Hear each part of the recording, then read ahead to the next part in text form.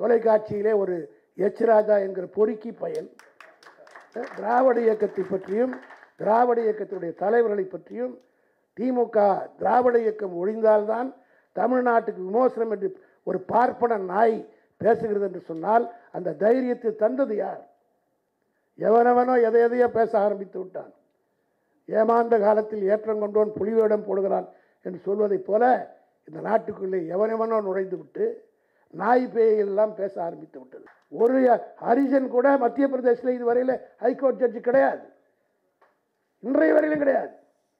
ஆனால் தமிழ்நாட்டிலே கலைஞர் ஆட்சிக்கு வந்த பிறகு ஒரு வரதராஜன் உட்கார வைத்தார். அதற்கு பிறகு ஏழு எட்டு ஆதி திராவிட சமுதாயத்தை சார்ந்தவர்கள் ஹைகோர்ட் ஜட்ஜாக இருந்தார் என்றால் அது திராவிட இயக்கம் போட்ட பிச்சை. ஏதோ நம்மெல்லாம் இந்து மதத்துக்கு எதிரியை போல சொல்கிறான் நான் ஓப்பனாக சொல்கிறேன் திமுக காரன் கோயிலுக்கு போகலன்னா ஐயருக்கே வருமானம் கிடையாது. இந்த மண்டபத்தில் பாதி பேர் பாதி பேர் தலையில் குங்குமம் இருக்குது விபூதி இருக்குது. என் கையிலே கூட கயிறு இருக்குது. நம்ம போடுற துட்டில் தான் வாழ்ந்துன்னுக்கிறான் இந்து மதமே பரவி கொண்டிருக்கிறது. ஏதோ நாம விரோதிக்கு மாதிரி சொல்கிறான் ஆக இது முடியெடுத்து காட்ட வேண்டும். இன்றைக்கு கொண்டு வரப்போகிற சட்டம்லாம் ஏதோ இந்துக்களுக்கு எதிரியை போல நாம் இந்துக்கள் நாம கலைஞர் சொன்ன நாம இந்துக்கள் தான் அங்கே பொண்ணு கொட்ட கோயில் கட்டுறோம் நம்ம பெயிண்ட் அடிக்கிறோம் நம்ம. இன்னும் கோயிலுக்குள்ளே போக முடியலையே? இந்த நாட்டினுடைய ஜனாதிபதியே உள்ளடா. இந்த நாட்டினுடைய ஜனாதிபதியே கோயிலுக்குள்ளே விடலையே? அதை தானே எதிர்க்கிறோம் இதே கெஜ்ரிவால் வந்து இந்த பிரகாஷ் கிஷோர் ஒருத்தரை வச்சு நடத்தினார் அதை போடல. நரேந்திர மோடி யூஸ் பண்ணாமல் போடல. யார் யாரோ யூஸ் பண்ணாங்க. அவர் தமிழ்நாட்டுக்குள்ளே வந்து திமுக கிட்ட வந்துட்ட உடனே வைத்தறிச்சல் காரணமாக அதை பற்றியே பேசுகிறாங்க அது ஒரு விவாத மேடை இந்த டிவி காரனுங்க இருக்கானுங்க பாருங்கள் அவனுக்கு மாதிரி உலகத்திலே அயோக்கியனும் எவனும் கிடையாது. ஓப்பனாக சொல்கிறேன் எனக்கு முன்னால் வரவேற்புரையாற்றிய அருமை நண்பர் சந்திரபாபு குறிப்பிட்டதைப் போல கலைஞர் வாசகம் என்பது அருமை என்பர் பாண்டி செல்வன் அவர்கள் எதை செய்தாலும் அதில் ஒரு முத்திரை இருக்கும். மற்றவர்களை காட்டிலும் ஒரு வித்தியாசமாக விழா எடுப்பதிலே திராவிட முன்னேற்ற கழகத்தில் ஒரு முன்னோடியாக இருப்பவர் பாண்டி செல்வம் அவர்கள். காரணம் அவர் ஆண்டுதோறும் வட சென்னை பகுதியிலே புத்தக கண்காட்சி நடத்தி கலைஞர் மற்றும் திராவிட முன்னேற்ற கழகத்துடைய தலைவர்கள் எழுதிய நூல்களை எல்லாம் பொதுமக்களிடத்திலே கொண்டு போய் சேர்ப்பதற்கு சிறப்பான புத்தக கண்காட்சி எல்லாம் நடத்தியிருக்கிறார். அதே முகத்தான் இன்றைக்கு கலைஞர் வாசக வட்டத்தை துவக்கி மீண்டும் எடுத்திருக்கிறார் இடையிலே விட்டதைப் போல விடாமல் தொடர்ந்து இதை நடத்த வேண்டும் என்று நான் கேட்டுக்கொள்கின்றேன்.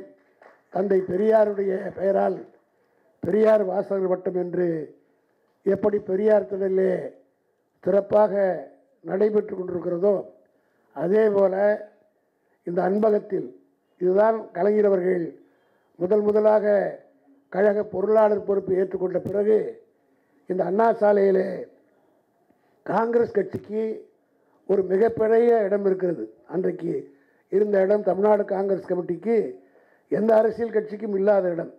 சத்தியமூர்த்தி பவன் வருவதற்கு முன்பாகவே இருந்த அந்த காங்கிரஸ் மைதானம். ஆக தலைவர் கலைஞர் அவர்கள் ஆயிரத்தி தொள்ளாயிரத்தி அறுபதிலே பொறுப்பேற்று கொண்ட போது பொருளாளராக இதே அன்றைக்கு இதுக்கு பேர் மவுண்ட் ரோடு. இந்த மவுண்ட் ரோடில் காங்கிரஸ் கட்சிக்கு இருக்கிற ஒரு இடத்தைப் போலவே திராவிட முன்னேற்ற கழகத்துக்கும் இருக்க வேண்டும். கழகத்தினுடைய இருவண்ண கொடி பறக்க வேண்டும் என்பதற்காக அப்பொழுது கழகத் தோழர்கள் ஒரு எழுபது எழுபத்தைந்து வயதை தாண்டியவர்களுக்கெல்லாம் தெரியும். அண்ணா சாலைக்கு வருகிற போது மூன்று இடத்துல பில்டிங் கட்டடங்களிலே கருப்பு சிவப்பு கொடி பறக்கம். ஒன்று தென்றல் கண்ணதாசனுக்கு சொந்தமான தென்றல் பத்திரிகையிலே கருப்பு சிவப்பு கொடி பறக்கம். அதற்கடுத்து கே மதியழகனுடைய வீடு தென்னகம். அங்கே கருப்பு சேப்பு கிடைக்கும். அதே போல் இன்றைக்கு இருக்கிற சர்ச் பார்க் பள்ளிக்கு எதிரிலே முரசொலி கட்டடம் இருக்கும். அதிலே கருப்பு சேப்பு குடி பறக்கும். இருந்தாலும் மூன்று பேருக்கு சொந்தமான கட்டடங்கள் வாடகையிலே மதியழகன் இருந்தாலும் மதியழகன் குடியிருந்த இடம் மா பண்ருட்டி ராமச்சந்திரனுடைய மாமனாருக்கு சொந்தமான இடம். இப்படி கலைஞர் ஒருவர் தான் முரசொலியை சொந்த காசிலே வாங்கி கருப்பு சேப்பு கொடியை இந்த அண்ணா அன்றைய மவுண்ட் ரோட்லே காட்டி கட்சிக்கு ஒரு கட்டடம் வேண்டும் என்பதற்காக இந்த இடத்தை ஆயிரத்தி தொள்ளாயிரத்தி அறுபத்தி நாலாம் ஆண்டு நாலு வருடத்துக்கு ஐம்பத்தி நாலாயிரம் ரூபாய்க்கு இந்த கட்டடத்தை வாங்கினார். இந்த விழாவிலே கலந்து கொண்டவர்களில் நானும் ஒருவன். அதைத்தான் இங்கே நந்தன் நம்பி சொன்னார். அவருடைய தந்தை சடகோப்பன் தான் இந்த பகுதியுடைய கார்ப்பரேஷன் கவுன்சிலர் அப்பொழுது ஆயிரத்தி தொள்ளாயிரத்தி ஐம்பத்தி நாலில் ஆக அந்த அன்பக கலைஞர் அவர்கள் உருவாக்கிய அன்பகத்தில் அண்ணா பெயரில் அமைந்திருக்கிற இந்த அண்ணா மன்றத்தில் மாதம் ஒரு முறையாவது கலைஞர் வாசக வட்டத்தை பாண்டி செல்வம் நடத்திட வேண்டும். அவரால் அதை முடியும். முடிகின்ற கலைஞர் வாசகர் வட்டத்திற்கு இன்றைக்கு மிக மிக முக்கியமாக இளைய சமுதாயத்திற்கு இந்த இயக்கத்தினுடைய வரலாறு தெரிய வேண்டும். எவனவனோ எதை எதையோ பேச ஆரம்பித்து விட்டான். ஏமாந்த காலத்தில் ஏற்றம் கொண்டோன் புலிவேடம் போடுகிறான் என்று சொல்வதைப் போல இந்த நாட்டுக்குள்ளே எவனெவனோ நுழைந்து விட்டு நாய் பேயெல்லாம் பேச ஆரம்பித்து விட்டது. தொலைக்காட்சியிலே ஒரு எச் ராஜா என்கிற பொறுக்கி பயன் திராவிட இயக்கத்தை பற்றியும் திராவிட இயக்கத்தினுடைய தலைவர்களை பற்றியும் திமுக திராவிட இயக்கம் ஒழிந்தால்தான் தமிழ்நாட்டுக்கு விமோசனம் என்று ஒரு பார்ப்பன நாய் பேசுகிறது என்று சொன்னால் அந்த தைரியத்தை தந்தது யார்? நாமெல்லாம் கோழைகளாகி விட்டோம். நாஞ்சில் சம்பத் அவருடைய பேச்சை நேற்றைய தினம் தொலைக்காட்சியில் அவர் கொடுத்த பதிலை பார்த்தேன். பல நாஞ்சில் சம்பத்துகள் உருவாக்க வேண்டும். என்னை போன்றவர் நான் வந்து இப்போ கட்சி பொறுப்பில் இல்லை என்று சொன்னால் நிச்சயமாக சொல்கிறேன். ஒரு தீவிரவாதியாகவே மாறுவதற்கு கூட என்னை போன்ற வயதாகி விட்டது என்பதல்ல. வயதானவர்களுக்குத்தான் இந்த அருமை தெரியும். காரணம் இன்றைக்கு இருக்கக்கூடிய இளைஞர்களுக்கு தெரியாது. இந்த பெருமை தமிழ்நாடு எதிலே தாழ்ந்து விட்டது. இந்தியாவிலேயே தமிழகம் தலை சென்று நிற்கிறது என்று காரணம் அதற்கு திராவிட இயக்கம் தான் காரணம். மற்ற ஊர்லெல்லாம் எல்லாம் முட்டாளா இருக்கிறோம் அறி அறிவே கிடையாது வட மாநிலத்தில் இருக்கும் நான் ஓப்பனாக சொல்கிறேன் ஒரு ஹரிஜன் கூட மத்திய பிரதேசத்தில் இதுவரையில் ஹைகோர்ட் ஜட்ஜு கிடையாது. இன்றைய வரையிலும் கிடையாது. ஆனால் தமிழ்நாட்டிலே கலைஞர் ஆட்சிக்கு வந்த பிறகு ஒரு வரதராஜன் உட்கார வைத்தார். அதற்கு பிறகு ஏழு எட்டு ஆதி திராவிட சமுதாயத்தை சார்ந்தவர்கள் ஹைகோர்ட் ஜட்ஜாக இருந்தார் என்றால் அது திராவிட இயக்கம் போட்ட பிச்சை. இன்னைக்கு மீண்டும் அவள் உள்ள நுழைந்து விட்டார் ஹைகோர்ட்டில் வைத்தறிச்சலோடு சொல்கிறேன். சுப்ரீம் கோர்ட் ஆர்எஸ்எஸ்னுடைய கூடாரமாகிவிட்டது. நான் ஒரு வக்கீல் தான் இருந்தாலும் என்னை தவிர இதை பற்றி சொல் ஆதங்கமாக இருக்கிறது. கலைஞர் உயிரோடு இருந்திருந்தால் அவருடைய பேனா வேலை செய்திருக்கும். நாட்டிலே மிகப்பெரிய எழுச்சி உண்டாக இருக்கும். ஆகவே கலைஞருடைய வாசகர் வட்டத்தை அரசியலை விட்டுவிட்டு சமூக சீர்திருத்தங்கள் நாம் நடந்து வந்த பாதை கலைஞர் போட்ட பிச்சை என்னவென்று பல பேர் பட்டதாரி ஆகிறதுக்கே காரணம் கலைஞர் தான். நாங்கெல்லாம் எஸ்எல்சி படிக்கிற போது மூணு முறை ஃபெயில் ஆகிட்டா அதோட எஸ்எல்சி கம்ப்ளீட் முடியாது. அண்ணாவே மூன்றாவது முறை தான் எஸ்எல்சி பாஸ் பண்ணார். இல்லைன்னா அண்ணா ஒரு பெரிய தீர்க்கதரிசியாக எம்ஏ படித்தவரை பார்த்துருக்க முடியாது. நாங்கள்லாம் எஸ்எல்சி படிக்கிற போது மூணு முறை எழுதி மூணாவது முறையும் பாஸ் ஆகலைன்னா அவுட் காலேஜ் விட்டு போயிடும் கல்லூரியை பார்க்க முடியாது. கலைஞர் ஆட்சிக்கு வந்த பிறகுதான் கம்பார்ட்மெண்டல் சிஸ்டம் பாஸ் பண்ணி ஒரு முறை நான் எப்படி வேணாலும் பாஸ் பண்ணி ஒரு பட்டதாரி ஆக்கணும்னு ஆசைப்பட்டதுனால தான் இவ்வளோ பேர் இன்றைக்கி பட்டதாரி உட்காந்துட்டு இருக்கோம் இது இன்றைக்கி வந்து பட்டம் வாங்கணும்னு தெரியல. காரணம் இத்தனை வருஷமாக நம்ம சொல்ல மறந்துட்டோம். எவனோ பூந்து வியாபாரம் பண்ணுறான் ஏதோ குலப்பெருமையால் கோத்திர பெருமையால் இன்றைக்கு உயர்ந்து விட்டோம் என்று கருதி கொண்டிருக்கிறார்கள். மீண்டும் பெரியாரும் அண்ணாவும் கலைஞரும் தேவைப்படுகிறார்கள். அவருடைய பெயராலே அமைக்கப்படுகிற இந்த வாசகர் வட்டம் நிச்சயமாக நல்ல பேச்சாளர்கள். நாஞ்சில் சம்பத்தை போன்றவர்கள் இன உணர்வோடு பேசுகிற பேச்சாளர் நிறைய பேர் இருக்கிறார்கள். அவர்களை மாதம் ஒரு முறை ஒரு ஞாயிற்றுக்கிழமையில் ஒரு ஒரு மணி நேரம் கொஞ்சம் ஒரு பத்து பேர் இருபது பேர் வந்து பார்ப்பாங்க. பெரியார் வாசகர் வட்டத்தில் கூட முதல்ல இருபது பேர் முப்பது பேர் தான் இருந்தாங்க. அதற்கு பின்னால் ஹைகோர்ட் ஜட்ஜுங்கள்லாம் வந்து உட்காந்து கேட்குற அளவுக்கு அது மிகப்பெரிய அங்கே உட்காந்து கூட்டம் கேட்டவெல்லாம் ஹைகோர்ட் ஜட்ஜ் ஆனோம் எனக்கு தெரியும். கேட்டால் பேரை கூட சொல்லுவேன். அது ஒரு பல்கலைக்கழகமாக போலவே பெரியார் வாசகம் வட்டம் செயல்பட்டது. அதே போல் கலைஞர் வாசக வட்டத்திலே இளைய சமுதாயத்தில் குறிப்பாக ப்ளஸ் டூவிலேருந்து பிஏ வரையில் படிக்கிற இளைஞர்களை கொண்டு வந்து உட்கார வச்சு நீங்கள் பாடம் எடுக்கணும்.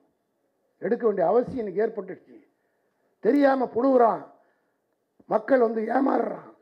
கடவுளின் பெயரால் கடவுள் ஏதோ நம்மெல்லாம் இந்து மதத்துக்கு எதிரியை போல சொல்கிறான் நான் ஓப்பனாக சொல்கிறேன் திமுக காரன் கோயிலுக்கு போகலன்னா ஐயருக்கே வருமானம் கிடையாது. இந்த மண்டபத்தில் பாதி பேர் பாதி பேர் தலையில் குங்குமம் இருக்குது விபூதி இருக்குது என் கையிலே கூட கயிறு இருக்குது.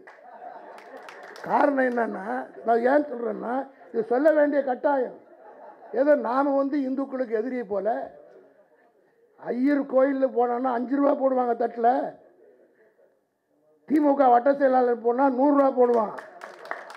பெருமைக்காக. கவுன்சிலர் போனால் ஐநூறுரூவா போடுவான். எம்எல்ஏ போனால் ஆயிரரூவா போடுவான். நேரு போன்ற ஆட்கள் போனால் ஐயாயிரம் ரூபா போடுவாங்க தட்டில். அப்போ நம்ம போடுற துட்டில் தான் அவன் வாழ்ந்து இந்து மதமே பரவி கொண்டிருக்கிறது. ஏதோ நாம விரோதிக்கு மாதிரி சொல்கிறோம் ஆக இது ஒரு முடியெடுத்து காட்ட வேண்டும். இன்றைக்கு கொண்டு வரப்படுற சட்டம்லாம் ஏதோ இந்துக்களுக்கு எதிரியை போல நாம் இந்துக்களும் நாம கலைஞர் சொன்ன நாம இந்துக்கள் தான். அங்கே பொண்ணு கொட்ட கோயில் கட்டுறோம் நம்ம?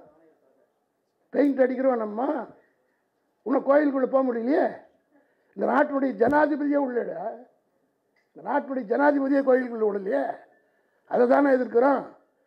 அதை புரிய வைக்க வேண்டியதுதான் நம்முடைய கடமை. அதற்குத்தான் இது போன்ற வாசகர் வட்டங்கள் பய- பயன்பட வேண்டும். இதுக்கு மேலே போசின வார்த்தைகள் கொஞ்சம் தடுமா வேறு மாதிரி வந்துடும். இந்த பொறுப்பில் இருக்கிறதுனால நான் பேசக்கூடாதுன்னு பார்க்குறேன். அது திமுகவுடைய அமைப்பு செயல் ஏன்னா இந்த பத்திரிகைக்காரங்க வேறு வேலை இல்லை. ஏதாவது எவன் செஞ்சாலும் அதை பற்றி எழுதுறது இல்லை. இதே கெஜ்ரிவால் வந்து இந்த பிரகாஷ் கிஷோர் ஒருத்தரை வச்சு நடத்தினார் அதை போடல. நரேந்திர மோடி யூஸ் பண்ணாமல் போடல. யார் யாரோ யூஸ் பண்ணாங்க. அவர் தமிழ்நாட்டுக்குள்ளே வந்து திமுக கிட்ட வந்துட்ட உடனே வைத்தறிச்சல் காரணமாக அதை பற்றியே பேசுகிறாங்க அது ஒரு விவாத மேடை. இந்த டிவி காரணங்கள் இருக்கானுங்க பாருங்கள் அவனுக்கு மாதிரி உலகத்திலே அயோக்கியன்னு எவனும் கிடையாது. ஓப்பனாக சொல்கிறேன் பம்பாயில் இருக்கிற ரெட் லைட் ஏரியா மாதிரி நடத்துகிறானுங்க இப்போ கம்பெனி காசு வருதுன்ற காரணத்துக்காக எதை ஒன்றா தலைப்பு தளபதி க- இப்போ கோயிலுக்கு போல போனாரா? அவங்க வீட்டில் இருக்கிற கோயிலுக்கு போனாங்கன்னா அது ஒரு விவாதம் பண்ணும். அதோட நாட்டுக்கு முக்கியம்? ஆகவே இதையெல்லாம் தடுத்து நிறுத்தக்கூடிய ஒரே சக்தியாக இந்த கலைஞர் வாசக வட்டம் செயல்பட வேண்டும் என்று கேட்டு விடைபெறுகிறேன். நன்றி